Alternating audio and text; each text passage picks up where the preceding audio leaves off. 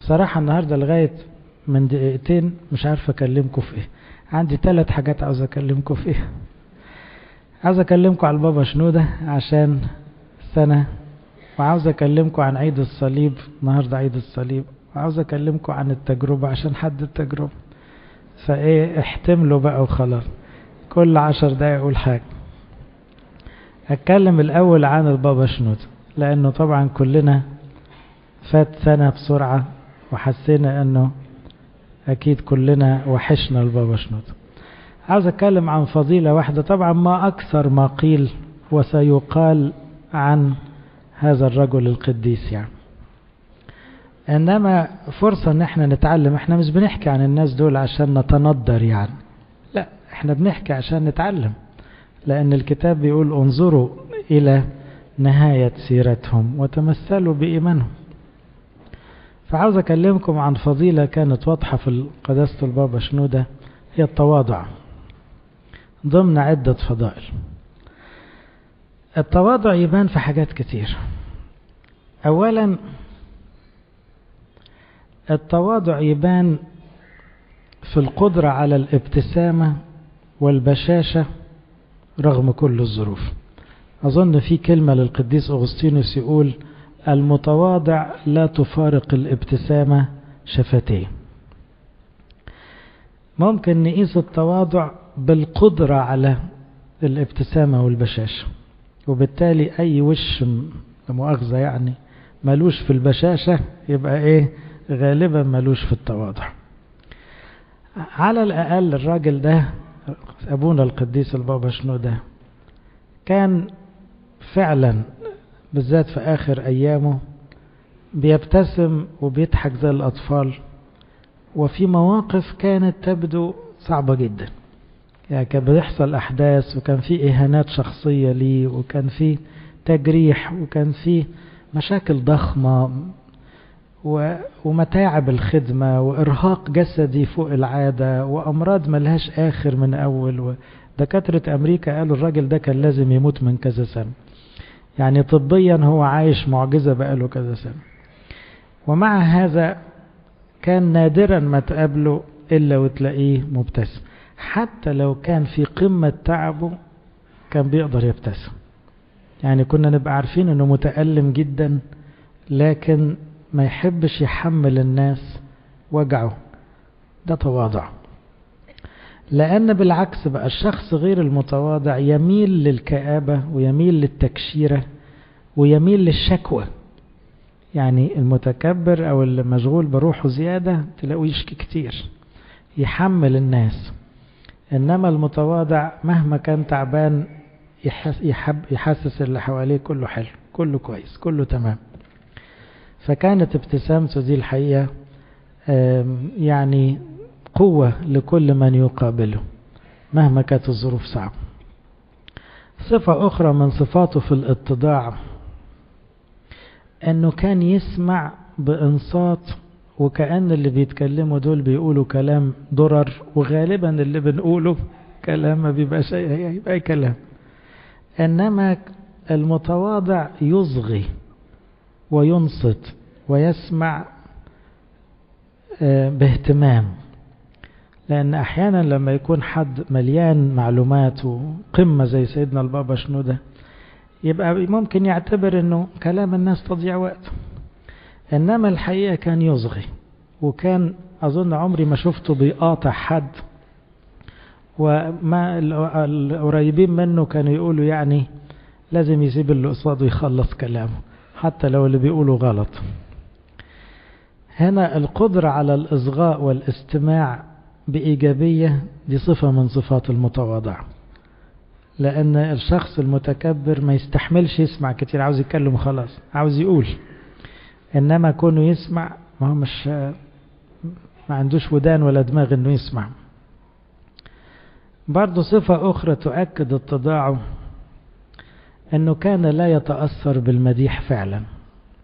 ياما البابا شنودة كان بيسمع تكريم ومديح وبعض الناس كانت تبالغ وفي ناس كانت بتبالغ بصدق يعني من قلبها وفي ناس ممكن كانت تبالغ إيه؟ بدون صدق. ومع هذا في كل الأحوال كنا نحس إن البابا شنودة الكلام ده ما بيدخلش قلبه وعقله خالص. الناس تقول مهما تقول وهو يشوف نفسه ضعيف ويشوف نفسه مقصر ويشوف نفسه وممكن يعترف بكده قدام اللي حواليه كمان. كون الواحد ما يتأثرش بكلام المديح دي مش حاجة سهلة. فعلا مش سهلة. لكن هو كان الكلام ده لا لا صدى له جواه.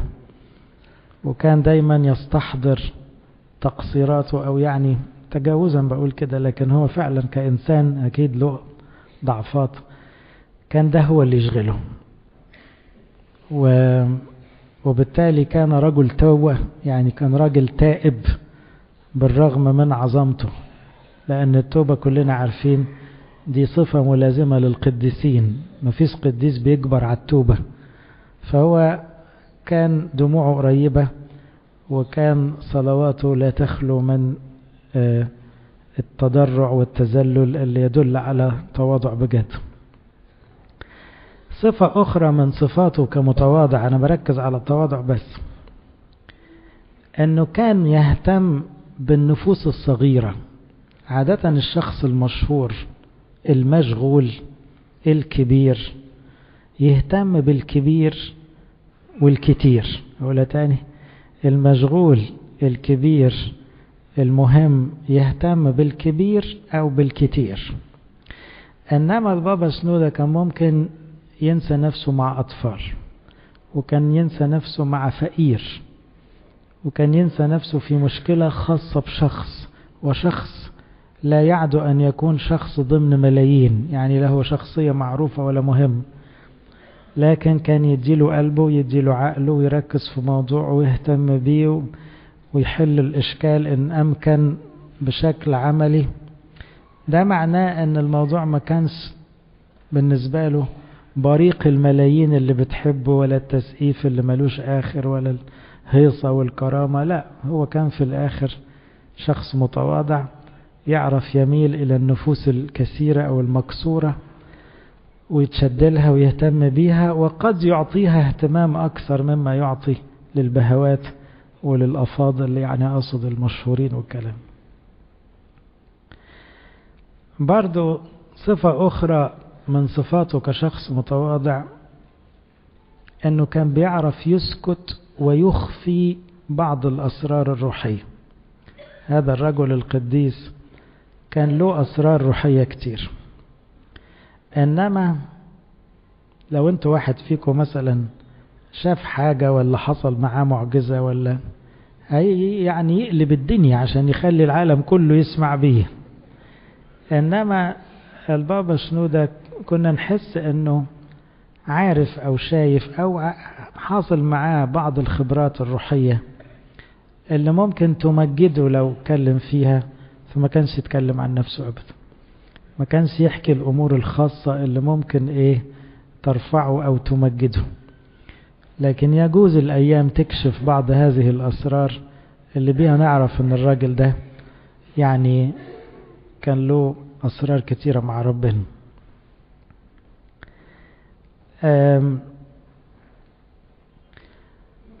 من صفاته كمتواضع كمان أنه لآخر حياته كان ناسكا زاهدا. يعني إيه؟ ساعات الواحد لما يكبر شوية يعجز يمرض يبتدي يخف على جسده شوية. يعني الصوم والنسك والزهد يعني يا ما صام ويا ما تعب فممكن يتساهل. هو ما كانش بيتساهل. لآخر حياته كان مش متساهل أبدا. يمكن لآخر عيد أو عيدين كنا شايفينه واقف بكذا ساعة اللي هو يعني الكهنة الشباب اللي زي حالاتنا يعني كنا نعتبر نفسنا شباب. ما, ما نقدرش نقف كمية الساعات اللي بيوقفها دي.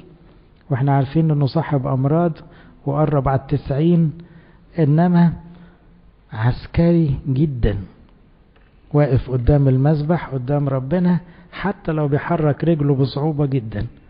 إنما وحتى لو يعني آلام شديدة في جسم جسمه إنما باتضاعه يشعر إنه لازم يكمل جهاده للآخر. واحد تاني يريح نفسه ويقول يعني ما أنا جاهدت كتير وتعبت كتير وآن الأوان ارتاح. ما كانش يفكر كده. ما كانش يفكر كده.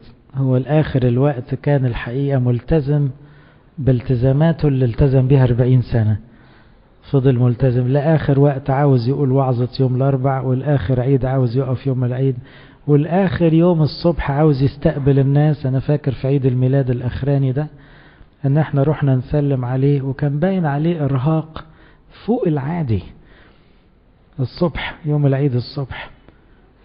لكن التزاماته يعني شديدة. واحد شديد مع نفسه جدا. ده كل ده تواضع لأنه أي واحد ما عندوش تواضع هيتساهل ويستحل لنفسه أمور كتيرة لأنها مش غلط يعني لكن هو ما بيعملش كده. وياما ناس حواليه حاولت تهدي من شدته مع نفسه لكن هو كان متمسك بهذا النسك. من صفات سيدنا البابا الشنودة المتواضع التشجيع. كان مشجع جدا لكل واحد بيعمل حاجة كويسة. مشجع باستفاضة والتشجيع ما يطلعش إلا من قلبه متواضع. الشخص غير المتواضع عاوز الناس تشجعه إنما الشخص المتواضع يسهل عليه تشجيع الآخرين ينسى نفسه ويستفيض في تشجيع الآخرين. يعني شوف بولس لما يتكلم عن زمايله في الخدمة أو تلاميذه يقعد يمدحهم. ربنا يسوع له كل المجد يشجع تلاميذه ويكبرهم البابا شنودة كان يشجع اللي حواليه. كان يمدحهم ويشجعهم ويشكر فيهم و... ويعني يذكر لهم ما لهم. وهو طبعا يعني محدش فيهم عمل واحد على مية من اللي هو عمله لكن يركن كل نفسه وحاله ويشجع اللي حواليهم كل دي تورينا النعمة اللي كانت عليه لأن الكتاب بيقول المتواضعون إيه؟ يجدون. نعمة عجبني قوي أبونا رفائيل أفامينا لما كتب في مجلة الكرازة مقالة معرفش قريتوها ولا لأ عن تواضع البابا كرولوس. لأن الحقيقة التواضع ده سمة أساسية في أي قديس وإحنا يعني في هذا الزمن يعني تمتعنا بأن إحنا شفنا البابا كرولوس وشفنا البابا شنودة والاتنين كان فيهم تواضع شديد قوي وكاتب أبونا رفائيل في القصة اللي حكيها عن البابا كرولوس أنه كان المتنيح أنبا أثناسيوس مطران بني سويف بيوعظ وكان البابا قاعد يسمع. والبابا والأنبا أثناسيوس وعظه حلو يعني. أنبا أثناسيوس الظاهر شد على الناس شوية يعني كان بيوبخهم في الوعظة فبعد ما خلص البابا كرولوس بيقول له مالك بس شادد على الناس كده؟ حد عارف مين فيهم مين مين مين الأحسن من مين؟ ما يمكن الناس دول أحسن مننا. ده البطرك بيقول لأنبا أثناسيوس إن الشعب. يمكن أحسن مننا. ما تشدش عليهم قوي كده. فأبونا رفائيل بيقول إن البابا كرولوس كان داخليا يشعر إنه أقل من كل الناس. حتى روحيا. يعني ممكن يشوف إن شعبه أحسن منه روحيا. وهو قديس. اذا التواضع ده حاجة غالية قوي. يا ريت طول الصوم إن إحنا نجاهد كده. نطلع ولو درجة صغيرة قوي في سلم التواضع ده. اللي يجعلنا نمتلئ نعمة. يبقى الواحد مشجع يبقى الواحد بشوش يبقى الواحد عارف ضعفه كويس يبقى الواحد ما يتأثرش بالمديح. كل الصفات الحلوة دي. أدخل على نمرة اتنين عيد الصليب. أقول حاجة برضو عن عيد الصليب لأنه طبعا إحنا عندنا عيدين كبار للصليب إنما عشان الصوم الكبير اختزلنا العيد في يوم واحد النهاردة. لكن العيد التاني بتاع الصليب 17 توت بياخد 3 أيام عشان بتبقى إيه مفيش صيام فبناخد راحتنا شوية. إنما عشان خاطر دايما عشرة برمهات ده بيجي في الصيام فبنزنق روحنا في يوم واحد بس. لكن إحنا الصليب بنحب نهيص له ونعيد له جامد.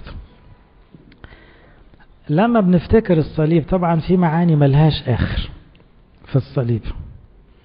لكن عاوز أفكركم بحاجة مهمة. لأني بلاحظ إن كتير مننا بيتحارب باليأس وصغر النفس.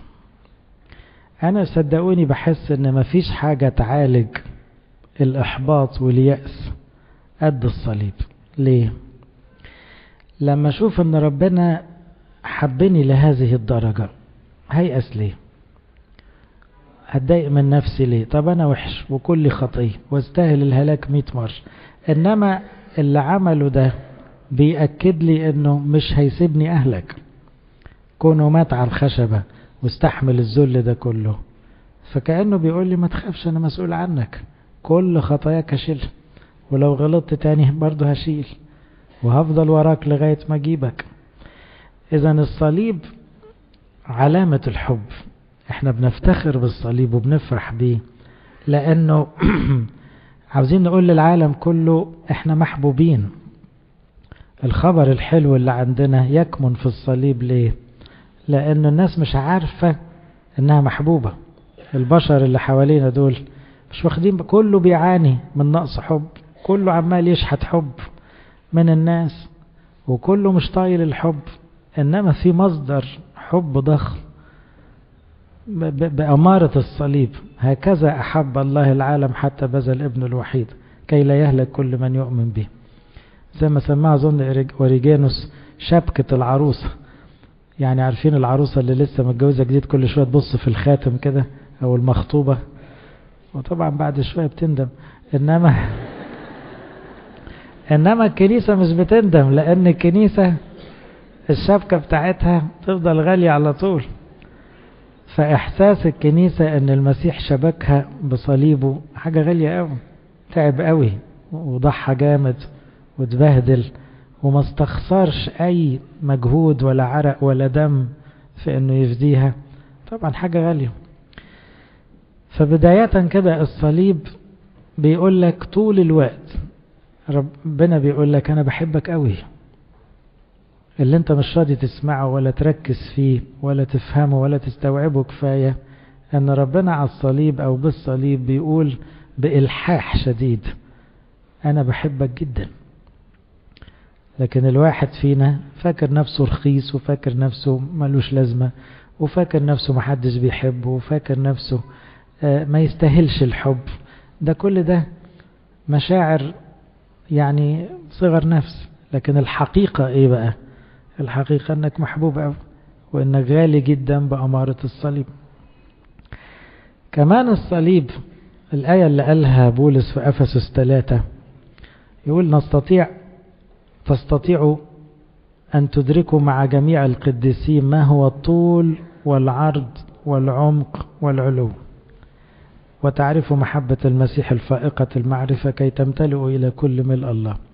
أثناسس أظن الرسول هو اللي قال حكاية طول وعرض وعمق وعلو دي كأن بولس بيتكلم عن الصليب.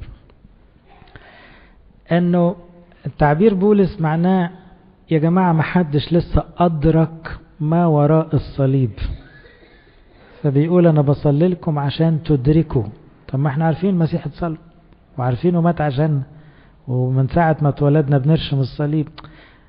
تدركوا دي غير تعرفوا تدركوا يعني تستوعب. يعني تعرف يعني إيه ربنا ربنا الكبير ده قوي؟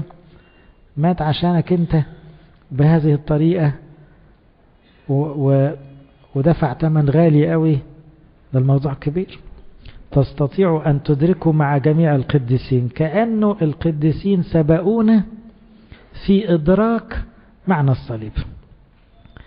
يعني اشمعنى موسى الأسود ده سابق ولا البابا كرولوس ولا البابا شنودة ولا ماري مرقس ولا ماري جرجس ولا؟ الناس دول ما هم بشر يعني. إنما فرقهم عننا هم أدركوا ما لم ندركه نحن. إنه إن هم محبوبين قوي وإن المسيح له المجد عمل حاجة كبيرة قوي إحنا لسه ما أدركناهاش. إحنا عارفينها بس ما أدرك مش مستوعبينها. عشان كده الموضوع يحتاج إلى تأمل إن الواحد يفكر في الصليب شوية. لأن لما تفكر في الصليب الدنيا فعلا تصغر في نظرك. تحس إنك كبير قوي بالربنا أنت كبير بالصليب لأنه ده تمنك أنت وتمنك أنت طلع غالي قوي. بنفس المعنى لما النشيد عروس النشيد تقول تحت ظله إيه اشتهيت أن أجلس. يعني إيه أنا أقعد تحت الصليب كده وإيه ومش عاوز أقوم. الضلة بتاعته يعني إيه قاعدة تحت الصليب أو في المزمور لما يقول إيه تحت جناحيه أعتصم. كل المعاني دي معناها الواحد بيتدفى في الصليب. يجي تحت الصليب ويقعد كده زي الكتكوت اللي يدخل تحت جناح الفرخ. وده تعبير قاله المسيح برضو. كم مرة أردت أن أجمع أولادك يا أورشليم إيه كما تجمع الدجاجة فراخها. كان يقصد الصليب ما هو على الصليب هيعمل إيديه كده عشان يلم الدنيا تحتيه فهنا في حتة رايحة مننا إن إحنا يجوز نكون فقراء روحيا وبنخاف وبننزعج و... وبنشحت حب من الناس ومستنين كلمة تشجيع. ومخضوضين ومرعوبين. يمكن نقص صليب بقول كده يمكن مش شبعانين يمكن مش مدركين يمكن لو أدركنا هنعيش اللي عاشوه القديسين دول لما بيقول أنا بحني ركبتي لدى أبا ربنا يسوع المسيح كي يعطيكم أن تتأيدوا بالقوة بروحه في الإنسان الباطن ليحل المسيح بالإيمان في قلوبكم حتى تستطيعوا أن تدركوا مع جميع القديسين إيه الطول وإيه العرض وإيه العمق وإيه العلو وتعرفوا محبة المسيح الفائقة المعرفة. يبقى لسه بدري. عشان كده عاوز أطلع بتدريب النهاردة. أقول إيه؟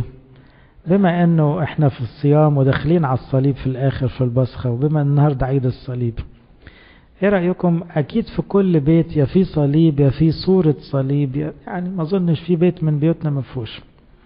يا إما تشتروا من المكتبة صورة ورق فيها صليب. إنما خلونا نعمل التدريب اللي كان بيقوله أبونا بشوي كامل زمان كتير إن الواحد يقعد تحت الصليب. شوية. يعني يبقى حاطط صورة الصليب قصاده ويقعد تحتيها شوية. يقعد قصادها يعني. تقعد تبص كده وتكلم المسيح اللي على الصليب.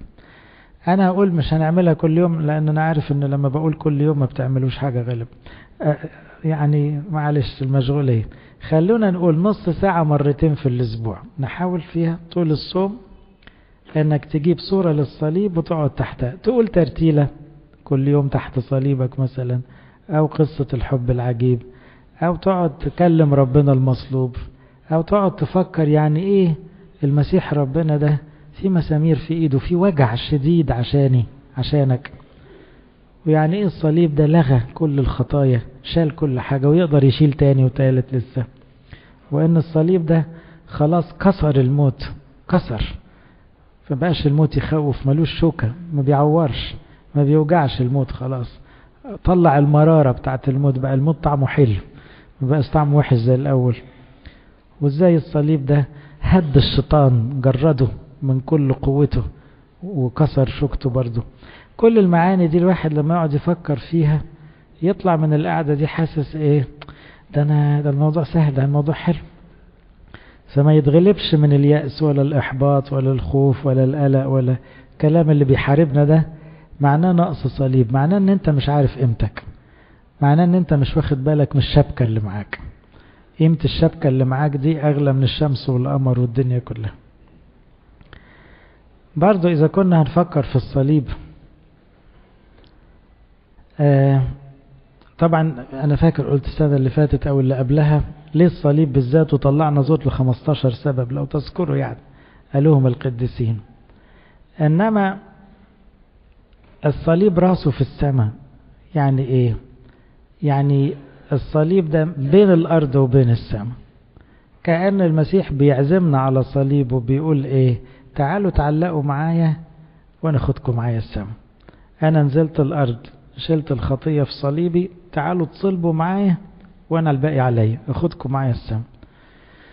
فإحنا بنبقى عاوزين نتصلب. نتصلب بمعنى إيه؟ يعني نموت عن العالم. مش عاوزين نعيش للشهوات مش عاوزين نبقى ماسكين في الدنيا زيادة. عاوزين نتصلب في الصلاة وقفة الصلاة ورفع الإيد دي صليب. عاوزين نتصلب في الصوم نشد شوية على أجسادنا. عاوزين نتصلب في الخدمة نتعب ونتوجع شوية عشان غيرنا. ما كل ده شركة آلامه أو أح يعني معاني من معاني الصليب. في المقابل إيه؟ اللي يشيل صليب ويجي ورايا على السماء. من أراد أن يكون لي تلميذا فلينكر نفسه إيه ويحمل صليبه ويتبعني يتبعني يبقى هيمشي ويدخل وراء السماء. تعالوا نقول عشان ما تنعسوش إيه قصة الحب العجيب. وبعدين ناخد آخر حاجة حد التجربة.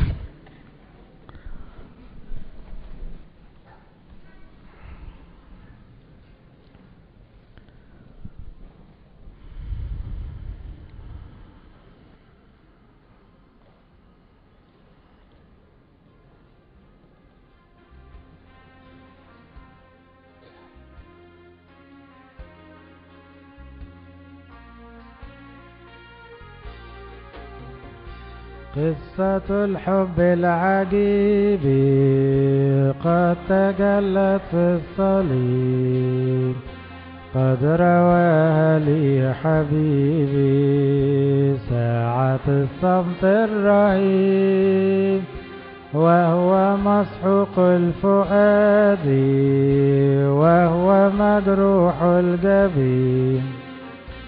قد رواها لي حبيبي دم الغالي الثمين كان بالأمس يقول يصنع الخير العظيم وينادي بالحياة يشفي جرح المتعبين.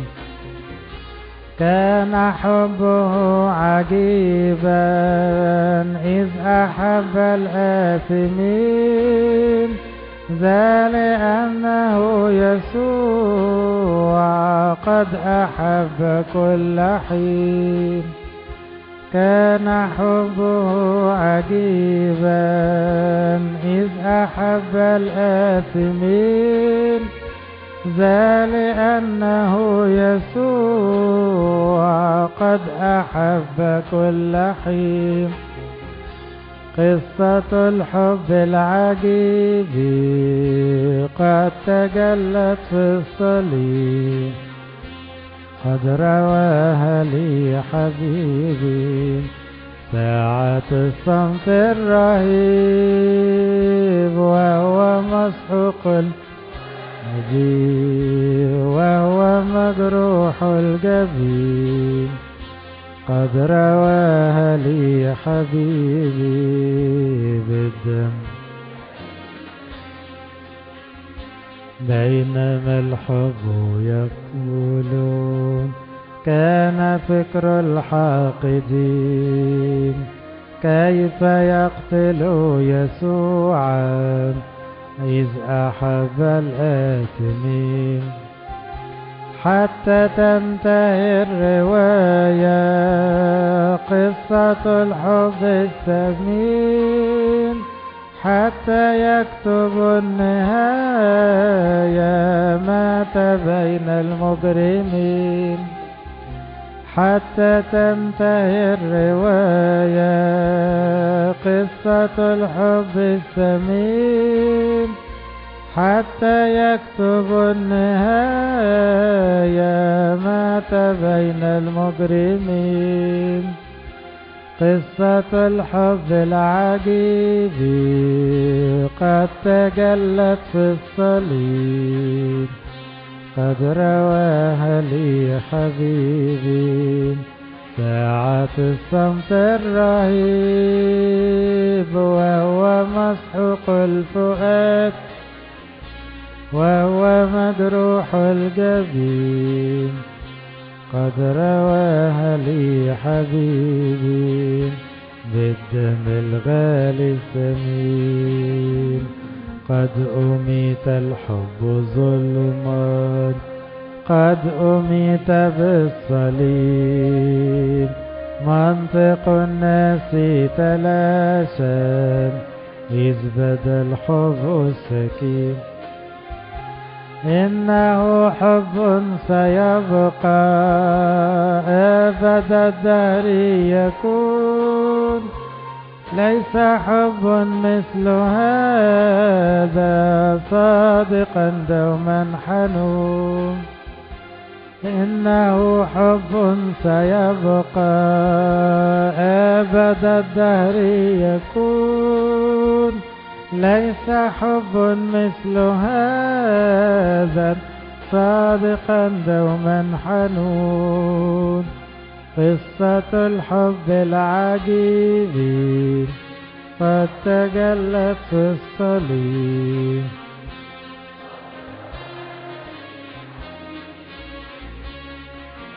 في الصمت الرهيب وهو مسحوق الفؤاد وهو مجروح الجبين. قد رواها لي حبيبي بالدم أي حب قد تناهى مثل حبه العجيب. أي حب مثل هذا قد بدأ عند الصليب كل حب في الوجود نبعه حب يسوع. كل حب في كياني رده حب يسوع. كل حب في الوجود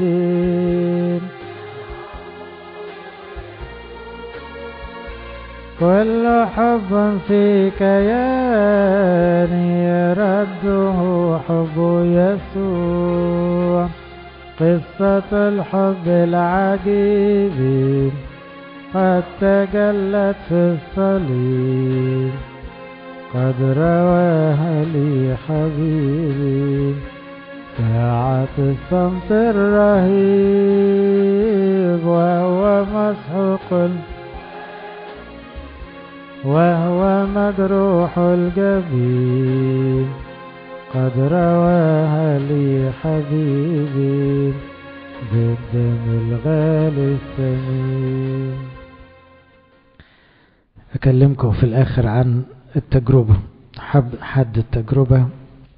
وكلمة التجربة بالمناسبة مش معناها التجربة يعني الكارثة أو الألم معناها التمتيشن هي دي اللي بنقصدها في أبانا الذي. لما بنقول له لا تدخلنا في تجربة نقصد النوع ده اللي هي فكرة شيطان يضحك علينا ويبعدنا عن ربنا. مش بنقول له ابعد عننا الألم لا بنقول له ابعد عننا الشيطان. الألم لو سمحت بيه هنقبله منك ونقول لك اسندنا لأن احسبوه كل فرح حينما تقعون في آلام متنوعة تجارب متنوعة. لكن التجربة هنا نقصد بيها امتحان من الشيطان عاوز يبعدنا عن ربنا. أو التجربة بمعنى في الإنجليش التمبتيشن اللي هي الإغراء. تلاحظوا أن ربنا يسوع اتعرض لثلاث تجارب هم أهم مداخل للشيطان في حياة البشر.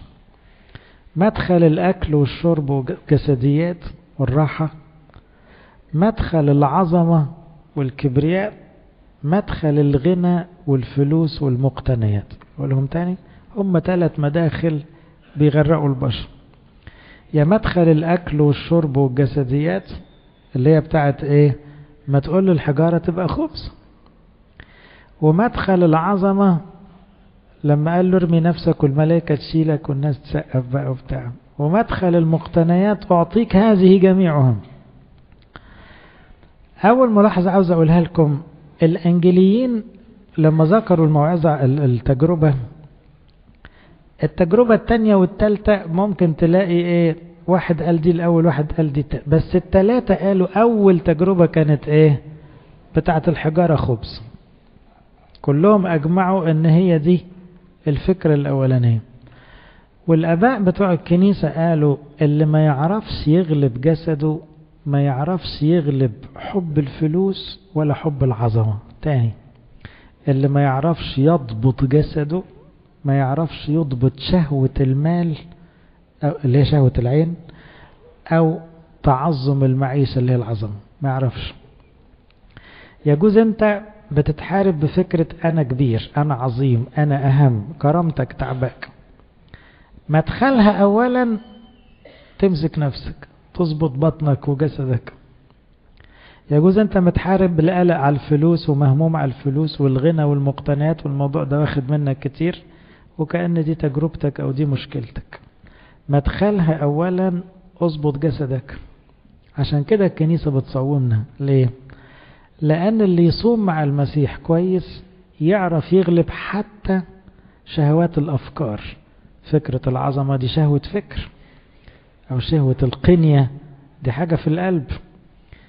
لكن لازم الأول تغلب الجسد الطمع الجسدي الأكل والشرب والراحة عشان كده ربنا يسوع لما الشيطان عرض عليه ياكل قال له لا مش عاوز من إيدك حاجة هكمل صومي. ليس بالخبز وحده إيه؟ يحيا الإنسان. فأول رسالة عاوز أقولها لكم خلينا نبقى أمنا في الصوم شوية. لأن ضبط الجسد هيساعدني على ضبط الفكر. مش هقدر أمسك دماغي اما كنتش عارف أمسك معدتي. مش هيقدر. لو أنا منقطع عن الأكل وباكل بحساب يبقى دلوقتي الجولة اللي بعدها إيه؟ أقفل دماغي عن الفكر وأقدر أوقف لساني وأقدر أوقف قلبي. لكن لو ما عرفتش أضيق على بطني مش هعرف أضيق على حاجة تاني وعشان كده الكنيسة قالت بداية الجهاد صوم. لو صمنا نقدر نعمل الباقي نقدر نرفع مستوى الجهاد إلى ضبط العقل والحواس والكلام ده. تاني رسالة عاوز أقولها لكم في التجربة. حكاية إن كنت ابن الله. كان الشيطان يجي وشوش المسيح يقول له إيه؟ إن كنت ابن الله. ما زال الشيطان هي نفس اللعبة القديمة لغاية دلوقتي. يجي في ودانك كده يقول لك لو كنت بتاعت ربنا بجد ما كانش سابك جعانة ما كانش سابك تعبانة. ما هو المسيح كان تعبان فقال له الملائكة تشيلك انت تعبان إزاي وانت ابن الله؟ انت جعان إزاي وانت ابن الله؟ في واحد يبقى ابوه ربنا جعان في واحد يبقى ابوه ربنا مريض في واحد يبقى ابوه ربنا وسايبه محتاج. يبقى التجارب كلها غرضها تشككني في البنوة. وعشان كده الحد اللي بعده عنوان بقى الأبوة والبنوة قصة الابن الضال. يعني إياك تفقد بنوتك. والحد اللي فات أبوكم يعلم ما تحتاجون إليه قبل أن تسألوه. يعني الحد اللي فات بيأكد إنك ابن ربنا. فيجي الشيطان الحد الجاي يقول لك ده منظر ابن ربنا ده؟ بيلعبك في الحتة دي. لأن إحنا كلنا بيجي لنا صغر نفس. صحيح أنا لو ربنا أبويا ما كانش سابني كده لا هو ممكن يسيبك جعان ويسيبك محتاج ويبقى أبوك ربنا؟ ممكن طبعا. إيه يعني؟ طب ما المسيح له المجد الابن الحقيقي المثل الأعلى كان جعان وكان تعبان وماله. ده ما يتعارضش ان يكونوا ابن الله. مقصود بها إيه؟ مش معنى إن ربنا لم يشبع احتياجي المباشر إنه مش أبويا. بلاش تشكوا مش معنى إن ربنا ما سمعلناش لأننا قاعدين نقول له الحق البلد يا رب ولسه ما استجابش. إن إحنا مش ولاده لا ولاده. ولاده ما تسيبوش الشيطان يقول لو كنت ابن الله كان سمع لك. لا أنا ابن ربنا وهو يسمع منين ما يسمع يعني هو يشوف مصلحتي. أنا اللي هقول له هو اللي عارف. أنا مش محتاج الملائكة تشيلني وماله لما أنزل على الجبل خطوة خطوة. ومش محتاج أكل سريع خليني جعان شوي. ومش محتاج كنوز الدنيا خلي الدنيا فقيرة وصعبة وماله. بس كفاية عليا إن أنا ابن لله. كأن الكنيسة عاوزة تقول لنا إيه؟ غنانا الحقيقي بنوتنا لله. أجمل واغلى حاجة عندنا إن إحنا أولاد ربنا. بعد كده نخسر فلوس نخسر صحة نخسر كرامة. ما تفرقش صدقوني لو إحنا أولاد ربنا. لأن مين في الدنيا يقدر يسرق منك كونك ابن لله؟ يسرقوا فلوسنا. ويسرقوا عمرنا لو عاوزين. بس يقدروا يسرقوا البنوة؟ يسرقوا إزاي؟ دي خاصة بأرواحنا. عشان كده المسيح قال ما تخافوش هيعملوا فيكم إيه؟ آخرهم يعني أجسادكم. ما يقدرش يعملوا أكتر من كده. طب ما إحنا فاكرين ده أكتر حاجة لا مش أكتر حاجة. أكتر حاجة هي إن إحنا أولاد ربنا. دي ما حدش يقدر ياخدها مننا. إلا لو إحنا اتنازلنا عنها. إلا لو إحنا تشككنا وصدقنا الحية اللي بتقول إيه إن كنت ابن الله. اوعى تشك. مش معنى إن ربنا اتأخر على طلبك. تفقد إيمانك إنك ابن لا أنت ابن ومحبوب. مش معنى إن ربنا ما عملش اللي نفسك فيه تتشككي وتقولي شكله زعلان مني. لا مش زعلان ولا حاجة. ده أب وبيربي عياله وبيعمل أحسن حاجة على طول. فإذا هنا المسيح لو المجد بيورينا مش ضروري الدنيا تمشي سهلة عشان تتأكدوا إن أنتوا ولاد ربنا. ده اللي عاوز أقوله بقى. مش ضروري الدنيا تمشي سهلة عشان نتأكد إن إحنا ولاد ربنا. حتى المسيح له كل المجد ما كانتش الدنيا سهلة. كان تعبان ونزل على رجليه على الجبل وكان فقير ما حلتوش حاجة في الدنيا وكان جعان. لكن إيه يقدر الشيطان يقول له إن كنت ابن الله يقول له اذهب عني يا شيطان. طبعا ابن الله. يبقى خلي إيماننا بأن إحنا أولاد ربنا ما يتهزش لمجرد إن الدنيا مش ماشية. خليها ما تمشيش ما تفرقش. مش هو ده العنوان إن أنا ابن ربنا. أمال العنوان إيه؟ العنوان الغفران الحد اللي بعده بقى لما أشوف أبويا بياخدني في حضنه وأنا كده ريحتي خنازير وبرضه بياخدني في حضنه ويبقى فرحان بيا. ادي العنوان بقى. يعني إيه هيقبلني وهيسامحني وهيغيرني ويلبسني أحلى هدوم وكل اللي فات مات. ادي المهم. في حد التجربة كمان في كلمة مهمة أوي يختم بيها عشان نصلي سوا. كلمة مكتوب. التلات مرات المسيح له المجد. أخطيت زي التلميذ الشاطر. بيسمع. عشان يعلمنا المسيح بيعلمنا. كلمة واحدة مفتاح النصرة على الشياطين. مكتوب. مشكلتنا يا أحباء إن الشيطان بيضحك علينا عشان يا مش عارفين المكتوب يا مش حافظينه يا مش بنراجعه. إنما كل ما يجي يقول له حاجة يقول له مكتوب. مكتوب.